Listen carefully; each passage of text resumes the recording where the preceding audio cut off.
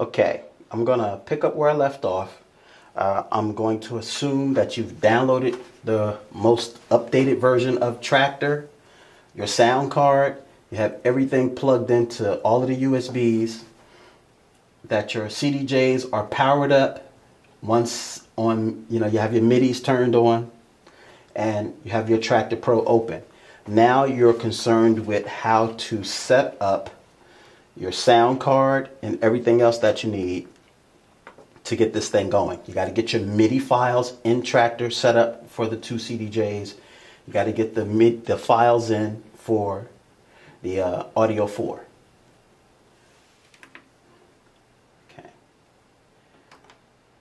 There's a couple things you want to open up the service center. It probably will open up once you turn on Traktor Pro for the first time.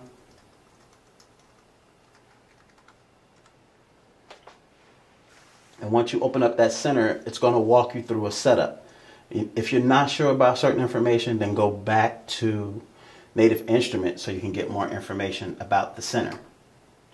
There's the service center. That's what it looks like. This is how you're going to register your Traktor Pro or your Traktor version.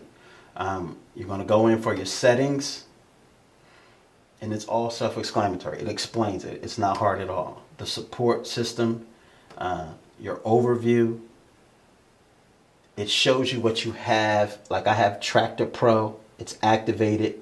If it's upgrades available, you can click on that and it'll show you what the upgrades are. Uh, here go all of the updates that I've downloaded recently. Uh, and again, the activity. It's my system, all products are activated. If you get a different message, then maybe your files that you downloaded aren't there. You need to check it to make sure. That's what the service center is for. The service center pretty much helps you set up uh, and to make sure that you have the most current downloads. Um, the help feature is really important because it's got the manuals there, it's got your downloads, it's got everything. Uh, and the startup wizard is what you want to open up too. The startup wizard will walk you through to make sure that you have your folders, uh, what kind of CDJs. Unfortunately, Amer uh, Traktor and Traktor Pro, they don't have any MIDI files for the Radius 1000s. Um, but it will ask you if you're using an internal mixer or an external mixer, um, what kind of sound card you're going to be using. If it's listed, click it. If not, just bypass it. This way you can just walk right past it. You don't really need it. You can set it up manually when you get your system turned on. So now we're going to have Traktor Pro turned on. MIDI controllers are turned on. Mixer, everything is set up. Everything is powered up. What you want to do is here in the top right corner, uh, next to the Native Instrument logo, you're going to see um, four little squares that have, one has like a magnifying glass, one has a star, one has an eye, and one has something that looks like a placemat. You want to click on the star, and the star opens up your preference window. This is the base for everything that you're going to do in Traktor, Traktor Pro. Um, you have to go into your preferences to set everything up. Might as well start at the top and work your way down.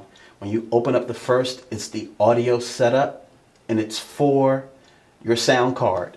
Now, if you have your Audio 4 hooked up properly and it's connected USB wise, when you click on the download, when the uh, drop down menu, it'll say built-in sound card, which is the sound card for your laptop, or the Audio 4. Of course, I have the Audio 4 hooked up, so I'm going to click on it.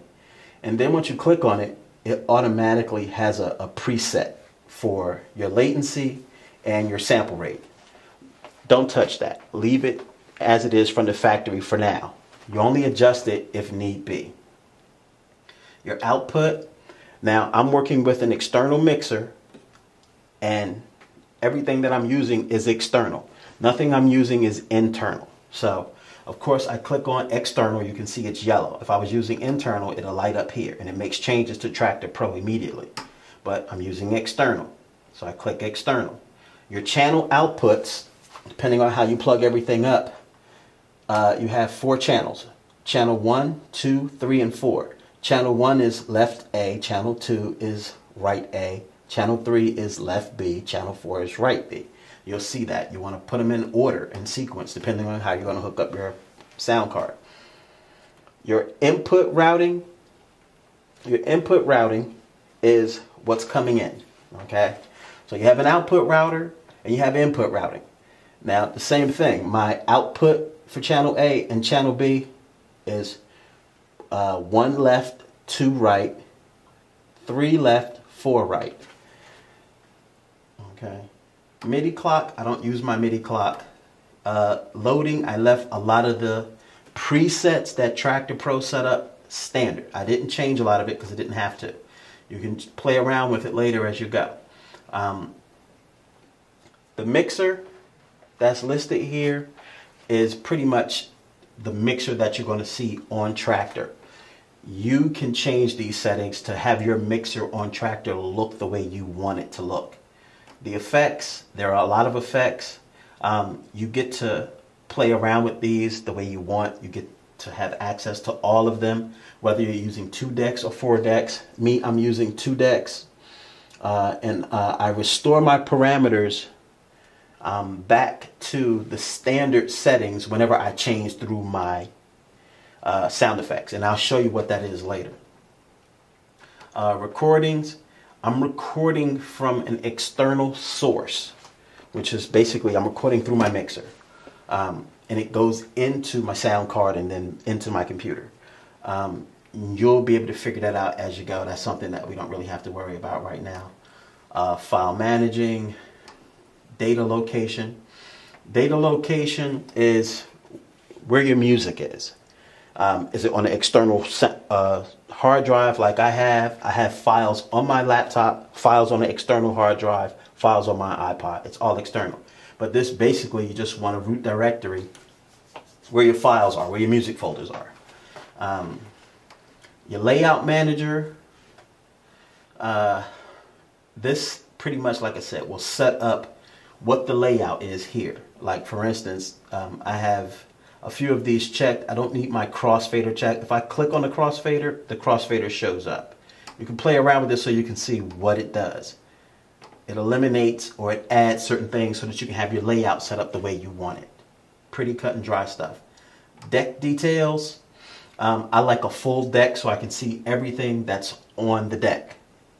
Um, of course, like I said, you can click on them and you can you can make adjustments. Traktor Pro is really friendly, so you can actually get in there and set it up the way you want to set it up.